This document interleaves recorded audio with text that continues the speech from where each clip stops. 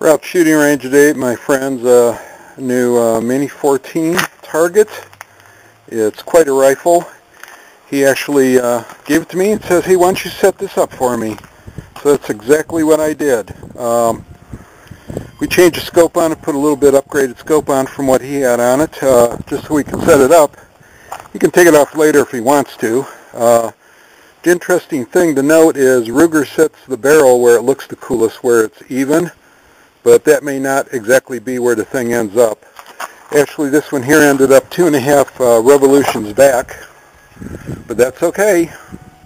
Uh, it's not what it looks like, it's what it shoots like. And believe me, this harmonic dampener makes a heck of a difference.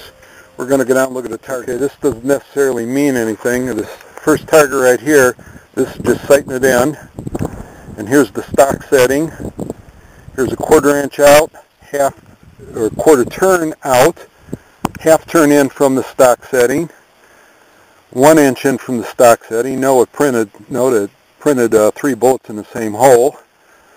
Uh, one half uh, turns in from the stock, two, two and a half printed, three in the same hole. Uh, over here, this is uh, three turns in, and uh, it actually put two in the same hole and one's off. That might have been me. And uh, here's three and a half, pretty good. Uh, four turns in, it's uh, going off the paper. I'm not sure what was happening. That's the extent of the alignment on it. Um, but anyway, it's uh, the, the tuning on that harmonic thing does make a difference. Okay, this is just kind of the rough alignment on it. Um, here's the pattern. I tweaked the scope over and then I brought the scope down and uh, that's pretty much what it's patterning. So we're going to go 200 yards with it now and see what it really does. Okay, I've uh, picked my rock. I'm going to take this rock here out to 200 yards, put it on the embankment, and I'm going to shoot the crap out of it. Hopefully I'll hit it every time. Okay, we're getting ready to go 200 here. I just wanted you to see how far it really, really was. Because uh, it's really out there. The first big berm is 100. The one way in the back there is 200, and that's where we got the rock set. Okay, we've got the camera zoomed up here, so hopefully you can see it a little bit better. Let's see what we can do. The wind's coming up a little, but we'll be all right.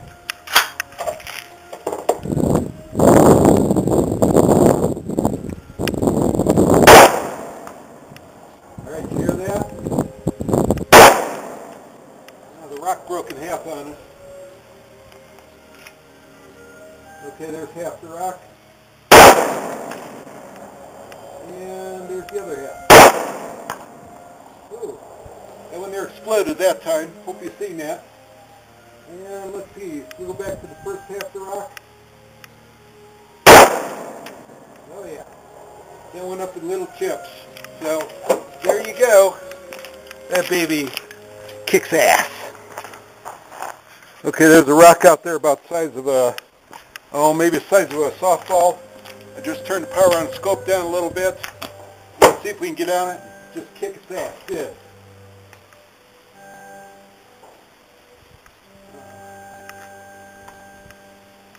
There it is, I think.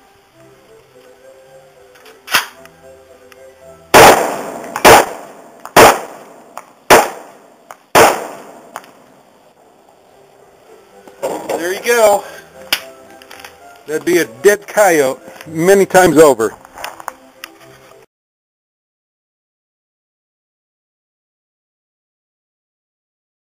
Anyway, we got her all painted up. Uh, that, that paint will dry up pretty quick. I'm having a little hard time getting paint on because it's so cold out, but we'll do it. So now we got to get ready for our 300 yard shot. We'll see how that goes. Okay, here we go. It's going to be the first time at 300 yards. Uh, according to the ballistics table, uh, I should have to hold it over about 10 inches because I'm 0 to 200. The wind out here is really blowing. Kind of hard to tell which way it's coming from. It looks like it's across the range at about a 45 degree angle, uh, according to the ballistics table. You know, us guys are good estimators. Uh, 10 miles an hour, I'm going to have to say I'm going to have to hold it to the right about 8 inches.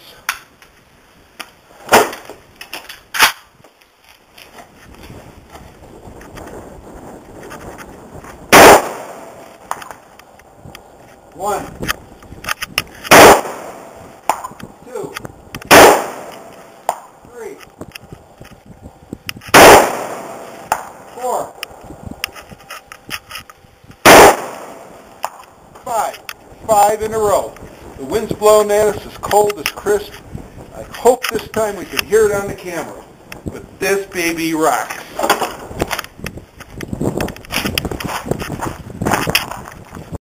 Oh boy, this looks really good. Oh boy.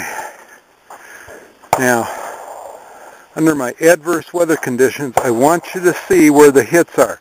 They're not on the edge, they're dead ass center. That's because I rock. Alright, had enough for today. I'm going home.